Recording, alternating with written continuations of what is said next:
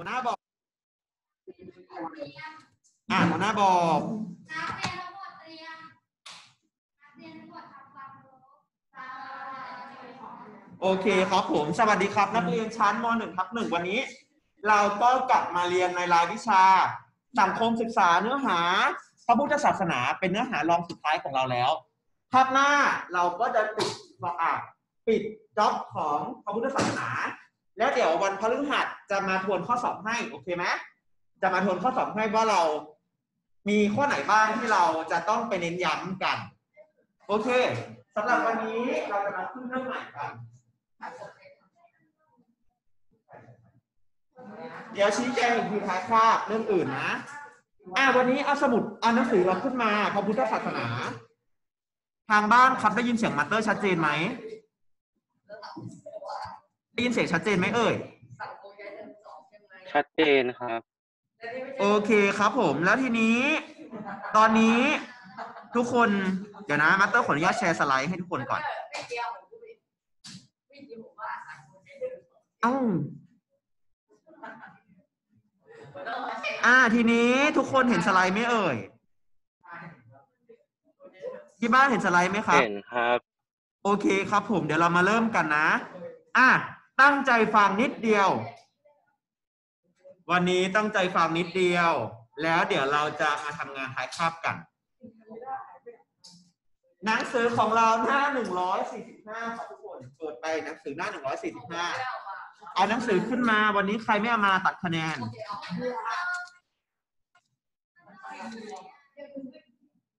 หนังสือหน้า 130 45 นะครับ 145 145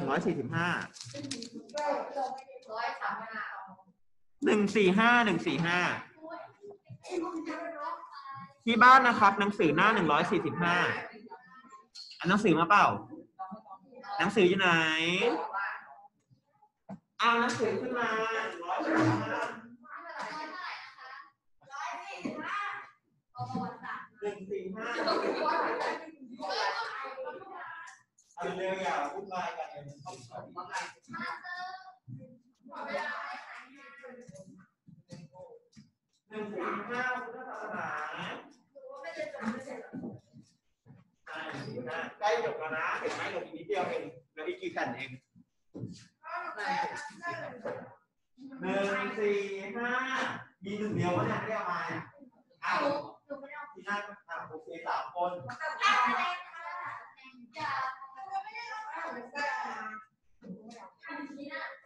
อย่าอย่า อะมีใครไม่ได้มาสามคนซุยใครอีกอะออมออมสินกับซุยใช่ไหม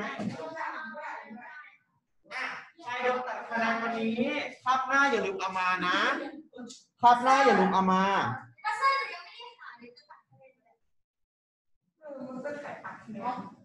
ถ้าหาเจอก็มาบอกมัตเตอร์จะได้ลบให้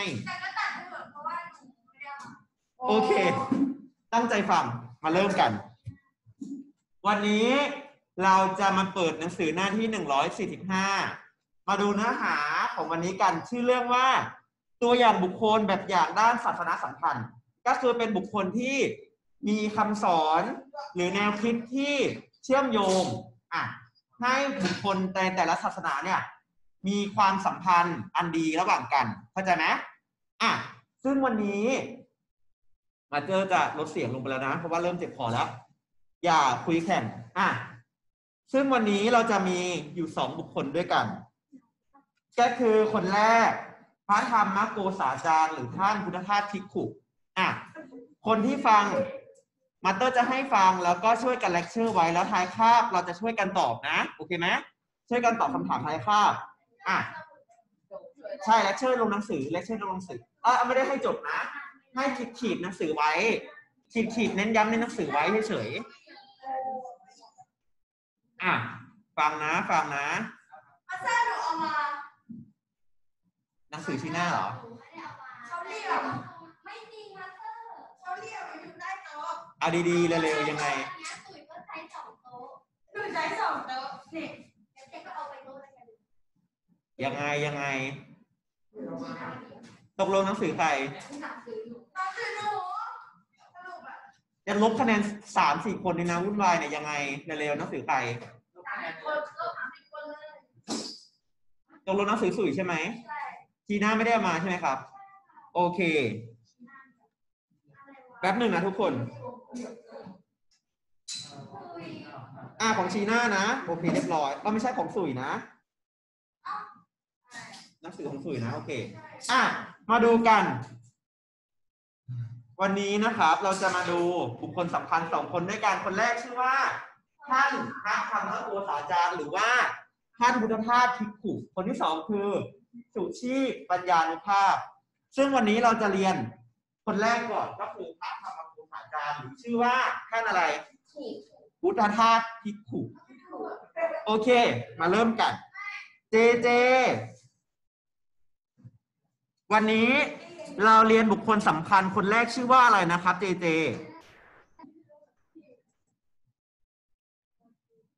ชื่ออะไรเอ่ย ครับวันนี้เราเรียนคนแรกชื่อว่าอะไรเงำพานิชพระอะไรนะเงำพานิชพระอะไร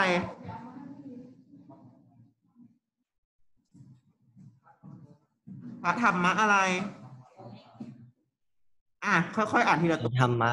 โกษาจารย์โกโอษาเคจารครับผมอะในห้องวันนี้เราเรียนชื่อ ท่านชื่อว่าอะไรนะ คนแรกพระธรรมะโกอะไร โกษาจารย์หรือว่าท่านอะไร พุทธทาสภิกขุอะเดี๋ยวเราจะมาดูชีวประวัติท่านกัน อะเดี๋ยวเรามาดูชีวประวัติท่านกัน นามเดิมของท่านพุทธทาสภิกขุชื่อว่าเงื่อมพาณิชย์นะครับ เงื่อมพาณิชย์อะเดี๋ยวมาเตอร์จะถามนะในไลฟ์หลังจากพูดเสร็จนะ อ่านามเดิมชื่อเงื่อมพาณิชย์เกิดวันที่ 27 พฤษภาคม พุทธศักราช 2449 อะ อุปสมบทเมื่อมีอายุ 20 ปี 20 ปีก็ออกอุปสมบท ตอนแรกท่านก็จะบวชตามธรรมเนียมก็คือ 3 เดือน อะ แต่ว่าก็ได้บวชต่อเพราะว่า อ่าชอบในอ่าธรรมะอ่าพระพุทธศาสนา อะอุปสมบทที่วัดโพธาราม ใช่จังหวัดราชบุรีไหมไม่ใช่แต่เป็นที่ไหน สุราษฎร์ธานีอำเภอชัยยานะครับอะอุปสมบทเมื่ออายุ 20อ่าตามธรรมเนียมเนาะแล้วก็ที่วัดโพธารามอำเภอชัยยาจังหวัด สุราษฎร์ธานี ได้รับฉายา ได้รับฉายาว่าท่านอินทปัญโยหรือแปลว่า ปัญญาอันยิ่งใหญ่ อะอินทปัญโยแปลว่าปัญญาอันยิ่งใหญ่คือฉายาของท่านอะไร ท่านอะไร พุทธทาสภิกขุโอเคครับผม ประมาณนี้อันนี้คือประวัติแรก เดี๋ยวเราจะมาถามในไลฟ์กันข้าวโอ๊ตครับข้าวโอ๊ตครับอ้าวนามเดิมของพระธรรมโกษาจารย์ชื่อว่าอะไรเอ่ยเงื่อมพาณิชย์ครับอ้าขอบคุณครับข้าวโอ๊ตเงื่อมพาณิชย์นะเงื่อมพาณิชย์ กาย พระธรรมโกษาจารย์เนี่ยเกิดวันที่เท่าไหร่เอ่ยกายยี่สิบเจ็ดครับยี่สิบเจ็ดเดือนอะไร พฤษภาพฤษภาคมในห้องปีอะไรเอ่ยในห้อง ปีอะไร อ่า พุทธศักราช2449 อะ โอบามา ท่านพุทธทาสภิกขุอุปสมบทเมื่ออายุเท่าไหร่ ยี่สิบหรือเปล่าครับ อ่าขอบคุณครับ โอบามา20ปี ที่ไหนเอ่ยในห้อง วัดโพธารามอำเภอชัยยาจังหวัดสุราษฎร์ธานี โอเคครับผม ฉายาของท่านพุทธทาสภิกขุคืออะไรครับ คิมคิม ฉายาของท่านพุทธทาสภิกขุคืออะไร อินทปัญโย อ่าขอบคุณครับคิมอินทปัญโยในห้องแปลว่าอะไรเอ่ยอินทปัญโย ปัญญาอันยิ่งใหญ่เนาะโอเค อันนี้คือชีวประวัติทั่วไปของท่านพุทธทาสภิกุต่อมา อ่าผลงาน ท่านพุทธทาสภิกุเนี่ย เป็นบุคคลสำคัญของโลกนะครับ ที่ได้รับยกย่องโดย อะองค์การเพื่อการศึกษาวิทยาศาสตร์ และวัฒนธรรมแห่งสหประชาชาติ หรือว่ายูเนส โกอะยูเนสโกเนี่ยได้ อะยกย่องให้ท่านเนี่ย เป็นบุคคลสำคัญของของโลกระดับโลกเลยนะจำมาไว้เลยว่าท่านบุตรชาติพิคูเนี่ย เป็นบุคคลสำคัญระดับโลกนะครับ โดยองค์การยูเนสโกอะในด้านอะไร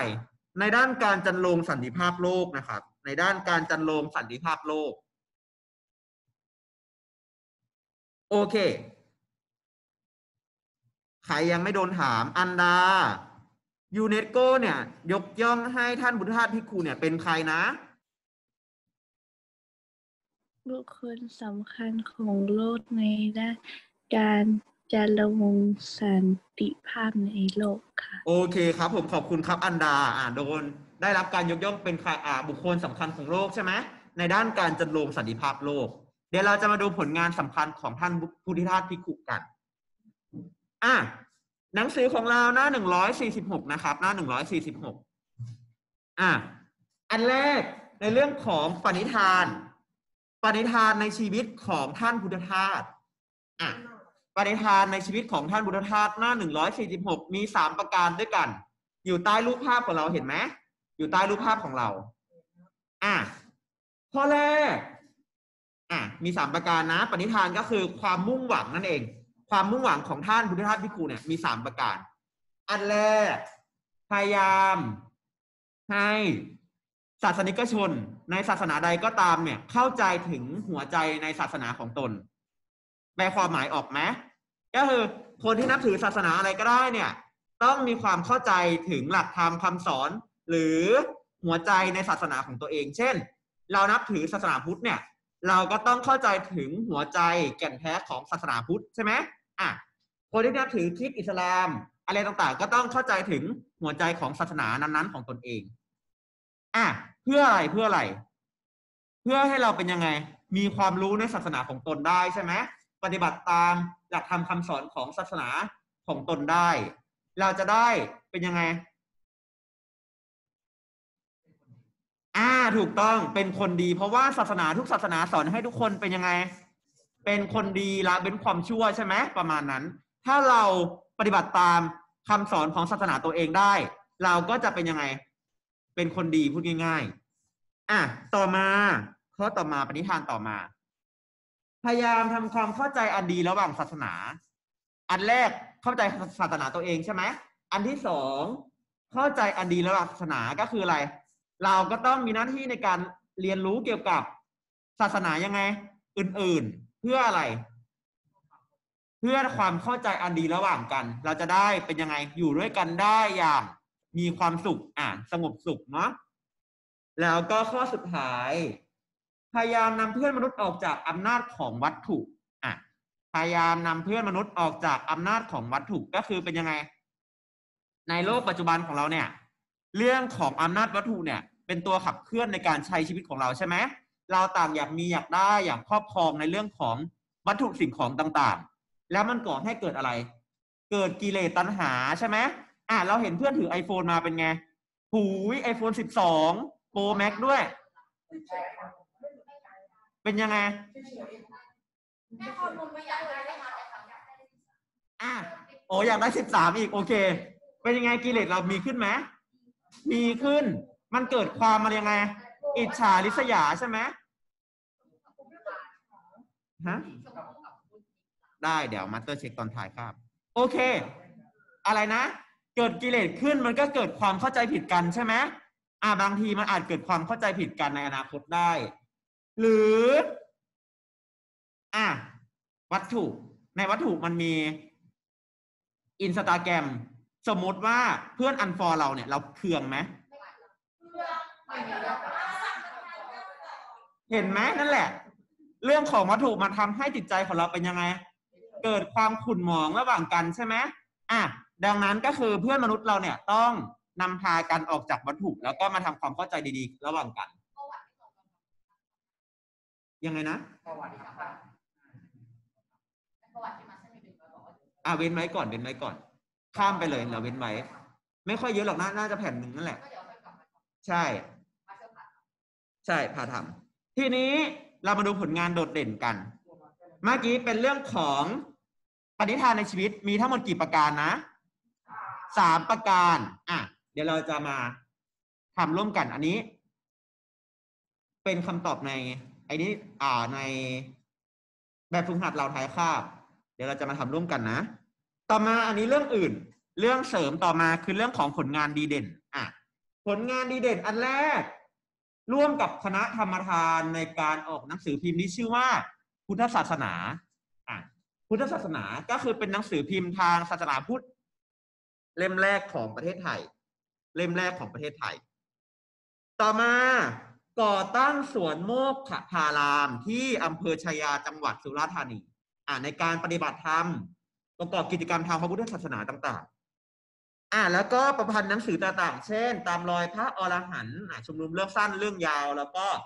ชุมนุมข้อคิดอิสระ ก็ประมาณนี้เนาะหนังสือที่ท่านได้ประพันธ์ขึ้นมา แล้วก็อันสุดท้ายแปลหนังสือเนาะทั้งเรื่องของสูตรของเวยหลาง หรือว่าคำสอนของห่วงโป ที่เป็นคำสอนเกี่ยวกับอ่าพระสูตรที่เกี่ยวข้องกับพระพุทธศาสนานิกายเซนประมาณนี้ อันนี้คือผลงานโดดเด่นนะครับ อะสรุป and Q&A เนาะวันนี้เราเรียนเกี่ยวกับใครนะครับ วันนี้เนี่ยครับท่านพระธรรมะอะไร โกศาจารย์หรือว่าท่านพุทธทาสอะไรนะภิกขุอะท่านพุทธทาสภิกขุเป็นบุคคลสำคัญของโลกโดยใครโดยใครยูเนสโกเนาะยูเนสโกทีนี้มีใครจะสอบถามอะไรเพิ่มเติมไหม ในไลฟ์องค์กรระดับโลกที่มีหน้าที่อะฮะเหนื่อยละแป๊บนึง มีหน้าที่เขาเรียกว่าอะไรล่ะ ให้คล้ายๆว่า ยกย่องอาสถานที่ใช่ไหมมรดกโลกหรือว่าบุคคลสำคัญของโลกอะไรประมาณนี้ใช่ใช่วันนี้จะเอาสมุดไปตรวจ อะมีใครจะสอบถามอะไรเพิ่มเติมไหมในไลฟ์ขอในไลฟ์ก่อนแป๊บหนึ่งโอเคในไลฟ์มีไหม ถ้าไม่มีเดี๋ยวเราจะมารวมงานอ่ามาทำงานสุดท้ายกัน อะว่าไงคิวอีก เดี๋ยวงานวันนี้หลังจากที่เราทำเรียบร้อยแล้วท้ายคาบปั๊บมาสเตอร์อัพลงในอัลบั้มให้เลยพร้อมเฉลย โอเคไหมอะโอเค ตามนั้น อะมาดูงานของเรากันที่บ้าน ที่บ้านที่บ้าน วันนี้เราจะมาทำข้อสุดท้ายของกิจกรรมที่แปดกัน ฟังนะ วันนี้เราจะมาทำข้อสุดท้ายของกิจกรรมที่แปดกัน ตอนนี้ทุกคนทำกิจกรรมที่แปดในในสมุดอยู่ใช่ไหมอ่าเขียนโจทย์ต่อลงมาเลย เราทำข้อที่หนึ่งข้อที่สองไปแล้วใช่ไหมครับข้อที่หนึ่งข้อที่สองเมื่อชั่วโมงที่แล้ว ทีนี้เราเหลืออยู่ข้อสุดท้ายคือข้อที่สามอะเขียนข้อที่สามลงมาเลยครับทุกคน ไม่ต้องไปเขียนใหม่ แต่ถ้าเกิดใครไปตีเส้นแล้ว แล้วสมุดหน้านั้นน่ะโดนขั้นด้วยแบบอ่า โดยข้ออื่นไปแล้วก็เขียนหน้าใหม่ต่อหน้าใหม่ไปเลยเอามาดูหน่อยเนี่ยค่ะคือผมเขียนข้อสองข้อนี้มาแล้วมันก็แบบมีงานนี้มาขั้นอ่างั้นเขียนเข้าหมาน้านี้มาอ่านได้แป๊บหนึ่งมาสเตอร์ขอเป็นตัวอย่างให้เพื่อนดูก่อนทุกคน เราทำกิจกรรมที่แปดอยู่ใช่ไหมเมื่อชั่วโมงที่แล้ว เนี่ยเราทำชั่วโมงกิจกรรมที่แปดแล้วหนึ่งสองเราทำไปแล้ว ทีนี้เหลือสามแต่ว่าบางคนเนี่ย แต่ว่าบางคนเนี่ยเผลออ่าเขียนหน้ากิจกรรมอื่นคั่นไว้ ดังนั้น กิจกรรมที่แปดเนี่ยเรามาต่อหน้าอื่นไปเลย มาต่อหน้าใหม่ไปเลย ก็เขียนว่ากิจกรรมที่แปดต่อแล้วก็ข้อสามแค่นั้นแหละ อะ กิจกรรมที่แปดข้อสามแค่นั้นแหละ อะ เขียนมันที่อะ ไม่ต้องไม่ต้องเพราะว่ามันเป็นงานต่อจากงานที่แปดเขียนข้อสามเลย ข้อสามเราถามว่าอะไร ให้นักเรียนยกตัวอย่างของบุคคลที่เป็นแบบอย่างทางด้านศาสนาสัมพันธ์มาหนึ่งท่านอะวันนี้เราเรียนเกี่ยวกับใครนะ พระธรรมะอะไรนะอ่าพระธรรมโกษาจารย์ทำไปพร้อมกันเลยนะครับพระธรรมมะโก สาอะไรนะ จาน อ่าข้าวโอ๊ตหรือท่านชื่ออีกอีกชื่อหนึ่งชื่อว่าอะไรนะข้าวโอ๊ตอ่าท่านอะไรหรือเรียกอีกอย่างหนึ่งว่าท่านอะไร ท่านพุทธทาสภิกขุครับอ่าพุทธธาตุพีกอะไรนะครับพีกขุ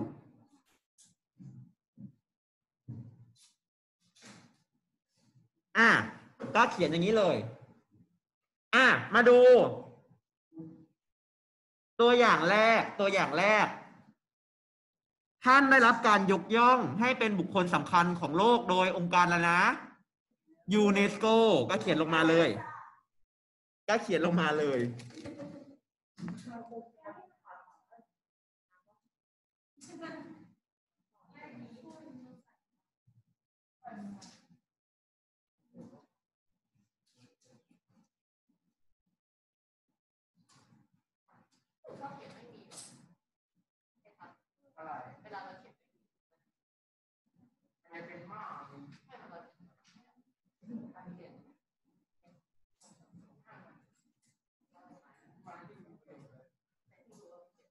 ทุกคนยูเนสโกเขียนภาษาอังกฤษกำกับไปด้วยนะ ถ้าเกิด เขียนภาษาอังกฤษกำกับไปด้วยนะ มีใครเขียนถึง แป๊บหนึ่งนะยูเนสโกใครไปแล้วก็ปล่อยไปเลย อ้าวสรุปมาจากไหนเนี่ย อ๋อ อยู่ตรงนี้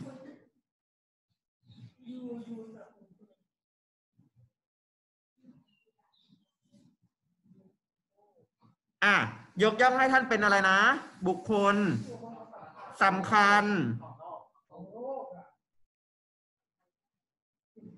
ของโลกอะของโลก ในด้านอะไร ในด้านอะไร ในด้านการจัดโรงอะไรอะเร็วๆดูในหนังสือในด้านการจัดโรงอะไร จัดโรงอะไรจัดโรงอะไรจัดโรงอะไรเมื่อกี้พูดในห้องอยู่เลย จัดโรงอะไรย่อหน้าที่สองเห็นคำว่ายูนิสโกไหมจันโรงสันติภาพของโลกครับอ่าขอบคุณครับเข้าโอ๊ตอ่า ในการจันโลงสันติภาพของโลก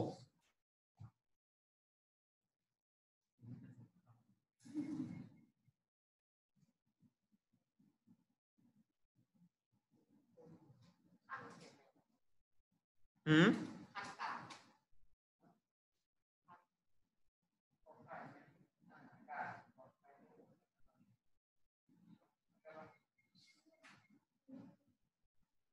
อ่า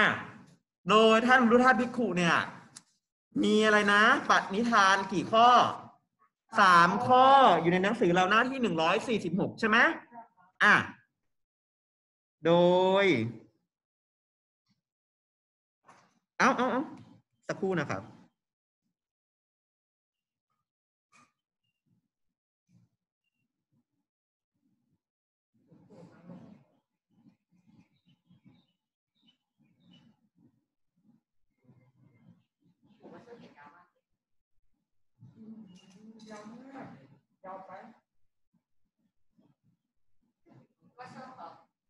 ข้อนี้ห้าคะแนนไง โอ้โหทำไมมาเซอร์อันหนึงเป็นแบบนี้แต่มาเซอร์แบรนด์หนึงเป็นแบบนี้แล้วพออ้าวอ้าวอ้าวโอเค ขอบคุณครับคิวอีก แป๊บหนึ่งนะทุกคนอย่าอย่าเบอร์ตามนะ อย่าเบอร์ตามนะ เครื่องหมาย ก็หมายคืออ๋อน้ำตัวแบบแค่ดูนี่ค่ะแต่ว่าไม่ใช่เดิมแบบ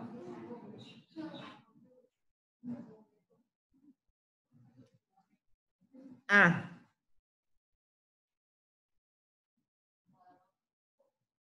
ทีนี้ท่านบุตรท่านพิคุเนี่ยมีปณิธานทั้งหมดกี่ประการนะสามประการแป๊บหนึ่งนะครับทุกคนใช้อะปณิธานทั้งหมดสามประการด้วยกัน เอ้าสักครู่นะครับ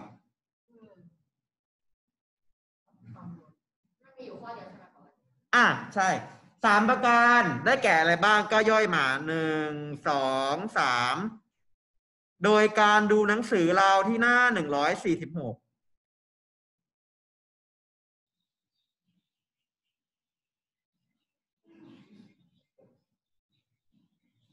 แป๊บหนึ่งเดี๋ยวเอารูปให้ดูเลยดีกว่า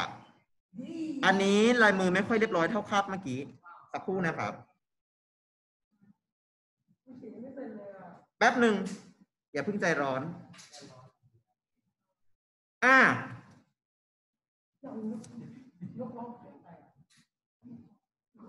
อะดูกันเลยประมาณนี้นะครับ ประมาณนี้ ที่บ้านนะครับที่บ้าน อะบุคคลสำคัญในวันนี้ที่เรายกตัวอย่างในแบบฝึกหัดของเราคือท่านอะไรนะ พระธรรมะ โกษาจารย์หรือว่าท่าน โพุทธทาสภิขุอะ โดยเป็นบุคคลสำคัญที่โดยยกย่องโดยใครนะยูเนสโกในด้าน การจันโลงสันติภาพของโลกก็เลยเป็นคนสำคัญของโลกใช่ไหมอะโดยมีปฏิทานในชีวิตอยู่ทั้งหมดกี่ประการสามประการ โดยมีรายละเอียดอยู่ในหนังสือหน้าหนึ่งร้อยสามสิบหกก็ให้เราเขียนไปเลยว่า แต่ละข้อเนี่ยเขาพูดว่ายังไงบ้าง ไม่เขียนตามมาสเตอร์เป็นปีกกาอย่างนั้นนะ เขียนชี้แจงแต่ละข้อว่าเป็นยังไง ใครเขียนปีกกามาหักพอละ ตามนั้นเลยสามคะแนนอะใครเบอร์เขียนตามปีกกามา ไปดูในหนังสือเราหน้าหนึ่งร้อยสี่สิบหกนะ ไม่ต้องไม่ต้อง อันนี้เพื่อนบางคนเขาไม่ได้เขียนไงมาสเตอร์ก็เลยบอก ไม่ต้องเขียนไม่ต้องเขียน เขียนต่อไปเลย อ่าหนึ่งสองสามดูตามหนังสือเรา หน้าหนึ่งสี่หกนะ โจทย์ต้องเขียนนะอะเดี๋ยวในไลฟ์ เสร็จแล้วเดี๋ยวมัตเตอร์จะอัพลงในอัลบั้มให้นะครับ ส่วนคนในห้อง ส่วนคนในห้องงานนี้เป็นงานสุดท้ายของเราแล้ว ดังนั้นเดี๋ยวจะให้รวบรวมสมุดมาส่งแล้วเดี๋ยวมัตเตอร์เอาไปปั๊มให้นะ โดยตราปั๊ม โดยตราปั๊มจะมีอยู่เนี่ยงานนี้งานสุดท้ายเลย ปั๊ม เป็นการปั๊มถือว่ามาสเตอร์เนี่ยได้ตรวจงานทั้งหมดแล้ว ตั้งแต่หน้าแรกยันหน้านี้โอเคไหมเข้าใจตรงกันไหมทีนี้ก่อนจะมาส่ง ก่อนจะมาส่ง ช่วยการดูด้วยว่าหน้าก่อนๆเนี่ยทำงานเรียบร้อยไหมตีเส้นอะไรเรียบร้อยไหมโอเคไหมตีเส้นอะไรให้เรียบร้อยก่อนมาส่งนะ ใครทำงานไม่เรียบร้อย ก็ได้รับคะแนนตามงานที่ตัวเองทำมาแค่นั้นพอโอเค เดี๋ยวจะปล่อยให้ทุกคนทำหน้านี้ให้เสร็จอะในคาบนะครับทำหน้านี้ให้เสร็จอะระหว่างทำงานเดี๋ยวมาสเตอร์จะเรียกคนในไลน์นะครับ เพื่อเช็คชื่อ กายอยู่ไหมครับ กาย กายอยู่ไหมเอ่ย กาย อะ เงียบเข้าโอ๊ตครับเข้าโอ๊ต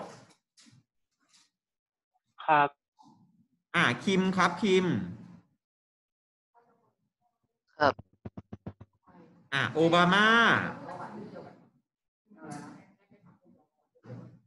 ครับ อะโอเคครับผม ข้าวปั้น มาครับ เจเจ ครับ อันดา ค่ะ อ่ากลับมาที่กาย กายอยู่ไหมเอ่ย มาสเตอร์จะนับเลขอะนะกาย กายนับหนึ่ง กายนับสอง กายนับสาม กายนับสี่กายนับห้ากายนับหกกายนับเจ็ดกายนับแปดโอเคกายไม่อยู่นะอะอ่าในห้องนะครับ ในห้องทำให้เรียบร้อยที่บ้านด้วยนะครับทำให้เรียบร้อยเดี๋ยวเราจะส่งไปในอ่าอัลบั้มของเรางานสุดท้ายของพระพุทธศาสนาแล้ว เราก็จะไม่มีงานแล้วหลังจากนี้ในคาบพระพุทธคาบหน้าก็แค่เตรียม ฟังแล้วก็เตรียมรอแนวข้อสอบกันว่าอ่าอามาสเตอร์เนี่ยจะให้เน้นเรื่องอะไรบ้าง เป็นเรื่องง่ายๆเลยที่เราเรียนกันเช็คเช็คสิ เดี๋ยวปีใหม่ปีใหม่ เราจะมาเริ่มเรียนสังคมกันก็คือเตรียมเอาหนังสือสังคมมา พร้อมกับแบบฝึกสังคม ส่วนประวัติศาสตร์ก็เตรียมแบบฝึกประวัติศาสตร์มา โอเคไหมโอเคไหมเอ่ย ปีใหม่เดี๋ยวเราจะมาเริ่มสังคม แบบฝึกหัดที่ปิ้นแจกอะ่ะ ต้องอยู่ที่ตัวนะ อย่าให้หายนะครับ อย่าให้หาย อะระหว่างที่ทำงาน อะมาสเตอร์ปล่อยให้ทุกคนทำงานนะครับ อะตอนนี้ทุกคนมาสเตอร์ได้พูดไปหรือยังว่า ได้อัปเดตชื่อให้แล้วในไลน์กลุ่ม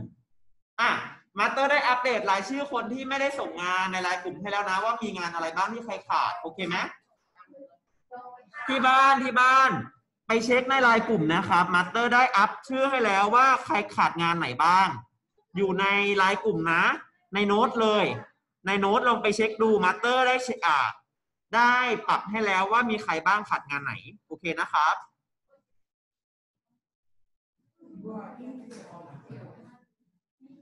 ทำงานได้เสร็จในห้องนะแล้วเดี๋ยวหันมาใครมีนะใครมีสมุดขอดูเงินจับจับจับ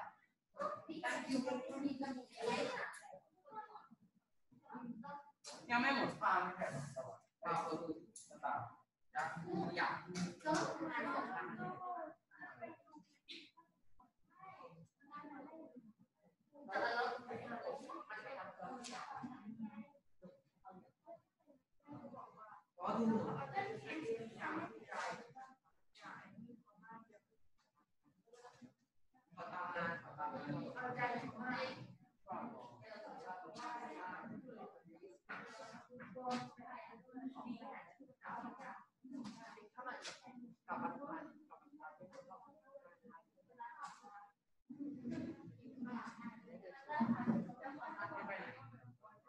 Cửa.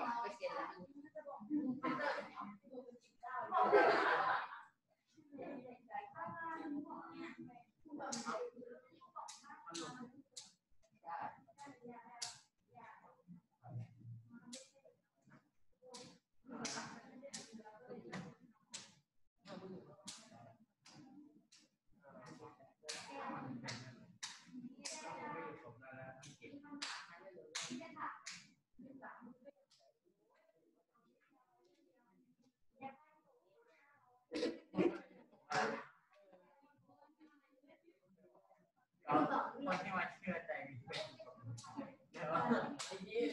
จะหลับความเยอะเมื่อเรื่องวันตูน่าจะแก่คนด่าแล้วค่อยมันตัวเท่าไหร่ไม่หรอกมึงเอาดีโ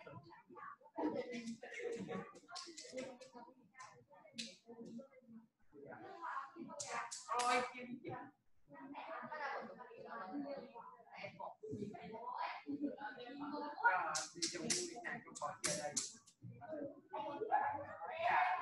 จยังเสร็จยังใครเสร็จเรียบร้อยแล้วเอามาส่งได้เลยครับใครเสร็จเรียบร้อยแล้ว อะไรใครตีกูทำได้ใครเสร็จเรียบร้อยแล้วเอามาส่งหน้าห้องได้เลยนะครับที่บ้าน ที่บ้านเดี๋ยวอัพเป็นอัลบั้มส่งให้นะครับที่บ้าน ขีดเส้นใต้ให้เรียบร้อยจ้าขีดเส้นใต้ให้เรียบร้อยอันเดอร์อย่าลืมเอารูปเฉลยกระมังอย่าลืมขีดเส้นใต้ให้เรียบร้อยนะครับขอดูของชูอีกไปขีดเส้นใต้ให้เรียบร้อยครับขีดไม่ได้วัตเตอร์ไปตีเส้นอะไรให้มันดูเรียบร้อยเนี่ยคำว่าตอบเนี่ยท่านลูกครับอย่าลืมเอารูปของกระมังนะรูปเฉลยอะมันสำคัญมากเลยได้ได้แม่ผมโดนด่าเนี่ยมาเตอร์แต่ว่าขอดูของคนที่งานเต็มบ้านเลย ไข่ไม่ต้องไม่เป็นพลาสติกนะมันเป็นอะเดี๋ยวมาสเตอร์จะปั๊มให้นะครับออนไซต์จะปั๊มให้แล้ว เดี๋ยวพรุ่งนี้เอามาให้คืนพรุ่งนี้จะเอามาให้คืน โอเคนะครับ ที่บ้านนะครับทำให้เรียบร้อยแล้วเดี๋ยวพร้อมส่งในอัลบั้มนะครับหมดคาบหรือยังเอ่ยงานค้างแต่ว่าจะหมดหมดไปหมดค่าอะไรอะหมดค่าอะไรมาเชื่อเช็คชื่อก่อนนะ เช็คแล้วเช็ค เดี๋ยวเดี๋ยวรอให้ไลฟ์สต่อองคนละลาไม่ได้ว่าแบบนั้นวัตเตอไม่ร์เป็นไรโอเคครับผม อันนี้ถือว่าเรียบร้อยคนนะลาส่วนคุณก็ลาเนี่ยมาเกิดสองคนลางานยังไม่ครบอะเอามาส่งได้นะ ใครเสร็จแล้วเอามาส่งได้เลยงานยังไม่ครบอยู่สี่ห้างานได้ได้ก็สามสี่เอาแล้วกันได้ครับได้ครับผมผมขอแล้วขอก็คนงาน ใครที่ทำแยกอย่างเงี้ย ใครที่ทำแยกแบบเนี้ยเอาไปเสียบใส่สมุดให้เรียบร้อยนะครับเอาไปเสียบใส่สมุดให้เรียบร้อยทำยังไงก็ได้ให้มันยึดติดกันทำยังไงก็ได้ให้มันยึดติดกันอะที่บ้านมีใครสงสัยอะไรเพิ่มเติมไหมครับที่บ้าน มีไหมเอ่ย เดี๋ยวมาสเตอร์จะขออนุญาตปิดคลิปนะครับ